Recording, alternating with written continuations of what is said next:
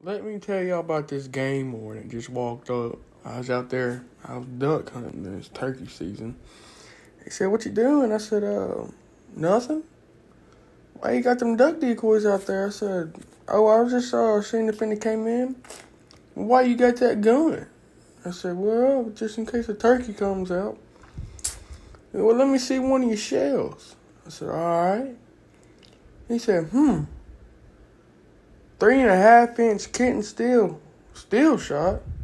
I said, Well yes sir. He said, This is this is duck load. I was like, Well yes sir. He said, Let me see your turkey calls. I said, Well I don't call them, I, they come in naturally. He said, Hmm, well why you got duck calls? I said, Well I just want to see what comes in. I done told you.